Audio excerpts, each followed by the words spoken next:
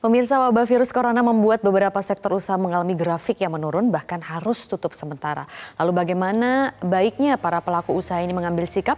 Kita langsung ngobrol yuk dengan artis sekaligus pengusaha Delia Septianti. Selamat pagi Mbak Delia.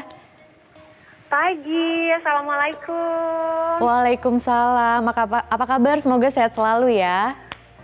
Alhamdulillah, Alhamdulillah baik dan sehat.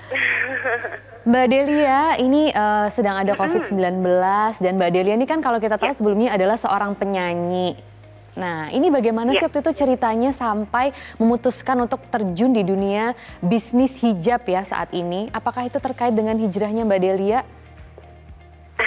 Iya, oke. Okay. Um, sebenarnya sih aku di bisnis fashion tuh udah dari sebelum berhijab, jadi kurang lebih itu sudah 15 tahun yang lalu dari hmm. zaman masih ngeband gitu ya di band yang lama tapi memang dulu nggak concern banget 100% untuk fokus di bisnis gitu cuman hmm. iseng-iseng aja gitu hmm. tapi pada akhirnya setelah aku berhijab di 2014 um, memang pada saat 2014 kan aku agak vakum ya dari dunia entertain gitu. Mm-hmm. Akhirnya aku fokus di bisnis fashion dan karena aku berhijab, pada akhirnya uh, bisnisku pun juga akhirnya ikut hijrah juga gitu kan. Okay. Aku um, yang tadinya dari iseng-iseng yang um, cuma jualan-jualan bisnis gitu aja pada akhirnya aku coba mendesain sendiri, aku memproduksi sendiri gitu kan dan hmm. lebih fokus di fashion hijab karena aku lihat uh, perkembangan hijab fashion di Indonesia juga bagus banget ya gitu. Jadi hmm, ya udah setelah aku coba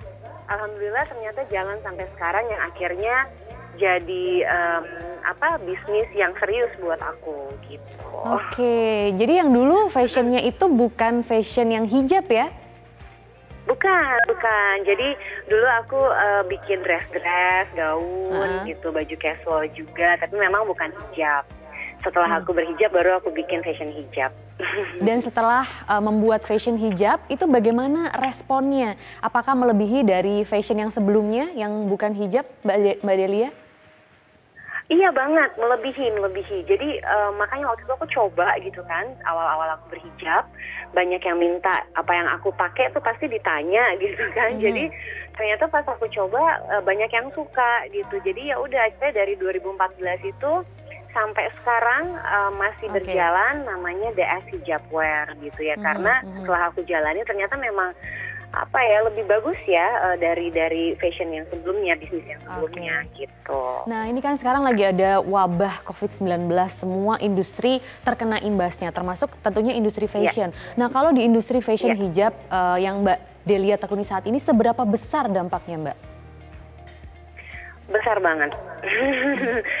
Jadi um, yang pasti kita para pelaku usaha uh, uh, seperti aku khususnya di fashion ya kayak aku punya hmm. butik aku punya satu butik satu outlet di Jakarta terus juga uh, tadinya dari bulan Maret kemarin sampai bulan April ini jadwal eventku tuh sudah full jadwal event hmm. pameran ya seperti bazar ya um, ada di Jakarta dan beberapa luar kota itu iya. semuanya yeah. sudah dipersiapkan dari bulan-bulan sebelumnya hmm. gitu seperti seperti penyewaan tempat terus juga hmm. pengiriman barang Terus okay. uh, di bulan lalu aku rencana ada launching untuk produk uh, Ramadan.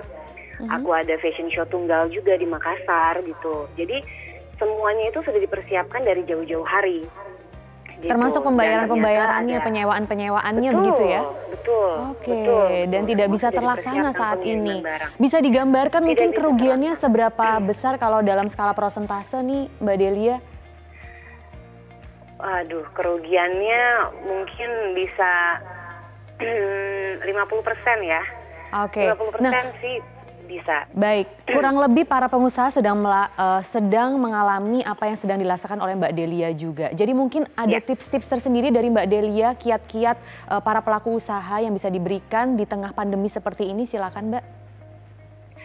Um, tips dari aku mungkin buat uh, para pelaku usaha yang sama di bidangnya dengan aku juga yang pasti uh, lakukan strategi lain gitu. Karena seperti aku mungkin kita tuh sangat mengharap momen Ramadan ini ya untuk para pelaku usaha khususnya Iya. di fashion hijab gitu.